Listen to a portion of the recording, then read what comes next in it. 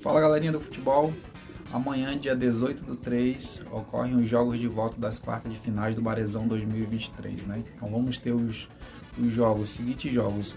O Amazonas recebe o Operário no estádio Carlos Lamite.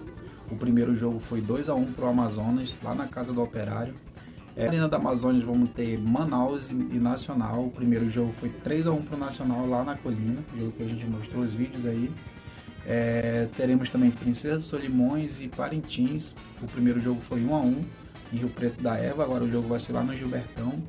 E por último, no domingo, vamos ter Manauara e Rio Negro lá no, no Carlos Amit. Esse jogo vai ser no domingo porque tinha sido o jogo tinha sido adiado, correu no meio da semana. Então aí eles postergaram.